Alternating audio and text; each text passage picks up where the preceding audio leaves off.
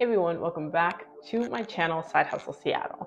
So if you've been following me for a while, then you know that a few months ago I joined the Amazon Influencer Program. I've since made a couple videos about what it's all about. And since then I've gotten like nonstop questions about, you know, how exactly it works and how people can make money. And one of the main questions I get is, what strategy do I use when it comes to reviewing products? And the short answer is absolutely none. I have zero strategy when it comes to reviewing products, I just naturally review what I already buy. So if I buy something from Amazon, as soon as it comes in, I review it and that's it. But there are actually tools out there that'll help you make a more informed decision about what you should review and what you shouldn't. And one of those tools is actually called Viral Vue. Now, I've been using it for a couple of weeks and so far I really like it because what it shows you essentially is what are the most viral products out there and which ones are actually worth your time. So I wanted to show you how it works just in case you're looking for a tool to help you maximize your earnings within this program. So Viral Vue has both a Chrome extension and then it also has a web-based application. So let's start with the extension and then we can get into the web-based application. So let's dive into it. So this is the Chrome extension right here.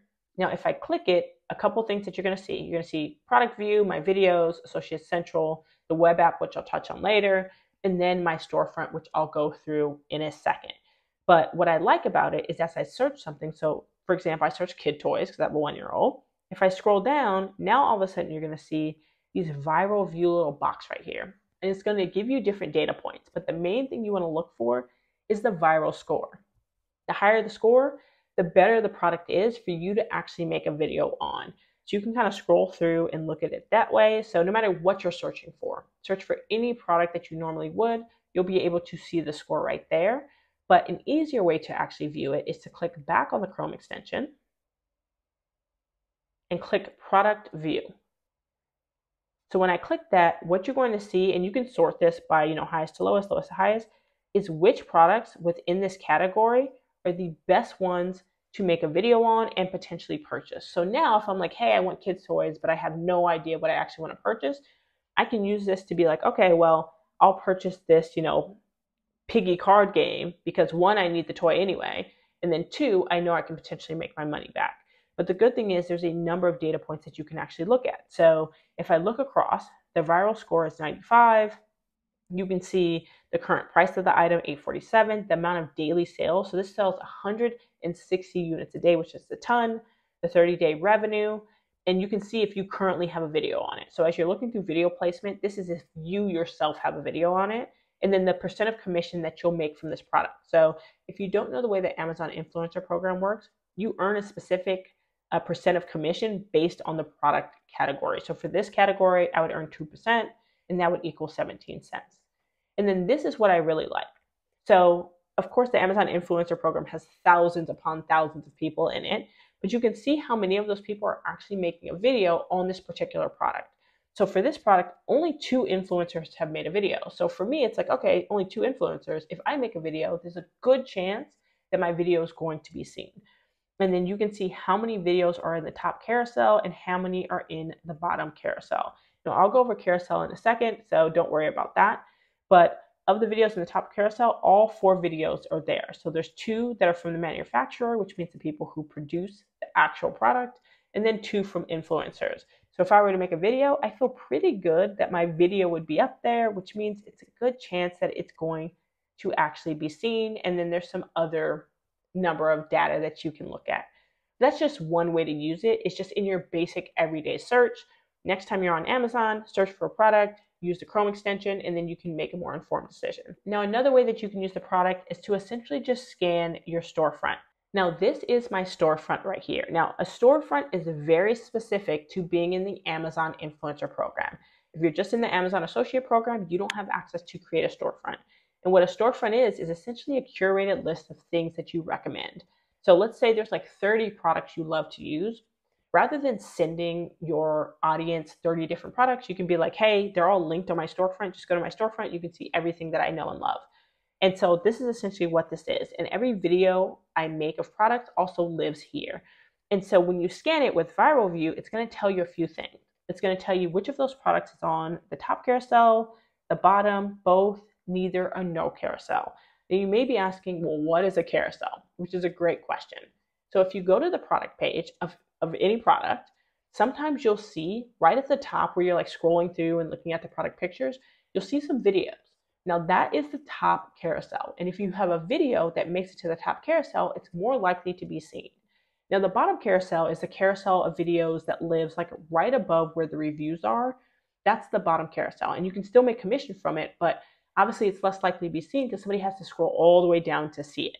Now, if it's on neither, that means that the video I made is not being put on either one. Just because you make a video and you're eligible for on site commission does not mean your video is going to be placed on the product page. Sometimes it is, sometimes it isn't. Sometimes there's so many videos that people have made of this product, yours just doesn't get in there. And then if it says no carousel, that means no matter what you did, they don't have videos placed on this product. So another way to think about it is there's 18 videos I didn't need to make because there was never going to be a chance that my video was going to get on-site commission from it. So I can kind of scroll through all of the videos I made and see which ones are performing great, like this one right here. One influencer video. And guess whose video that is? Just mine. I am the only person who made a video on this product, which means this is a great viral score. I'm more likely to be seen because anybody going to this product is either going to see just the manufacturer's video or mine. That is it. But if you scroll through, there's going to be some stuff like this one 69 influencer videos. I'm not going to get in that. That one's not even worth my time. There's no point in doing that video. So that's kind of how it works. So something that I also love is you can scan your most recent orders. So you can see what of what you currently ordered makes sense to review or what doesn't make sense to review. So this way, instead of me going through and reviewing every product that I purchase, I can make a decision on if it's actually worth my time or if it's not actually worth my time. So we talked about the Chrome extension, so let's talk about the web app real quick. So you can go first thing to the viral finder and you can scan by ASINs first if you'd like to. And so that's a unique kind of product identifier that you can put in here and see what that viral score is. Now, one of my favorite tools within the web-based app is when you go to viral finder and you go down to products because this way you can actually just see what the viral products are within a category or within whatever specifications you want. You can go down to filters and you can sort by a number of different things. I like doing it by category. So even let's say that you don't need to purchase anything from Amazon and you just want to purchase stuff just for the sake of making a video, this can make it easier. you can go through and do whatever filters you want. Right now I have it filtered to home and kitchen. And so now as I go through it, I can go ahead and just take a look at what are the best products to review within the home and kitchen category. So it'll tell me a number of different things that are listed here in the same data that you saw when we were using the Chrome extension directly in the search section of Amazon. So it'll tell you, of course, what are the sales, you know, how many influencer videos, et cetera, et cetera. And you can choose what you want to review from there as well. You can also, which I think is a little bit of a hidden gem, click on the videos button. So what this videos button is, it's actually directly pulling videos from my storefront.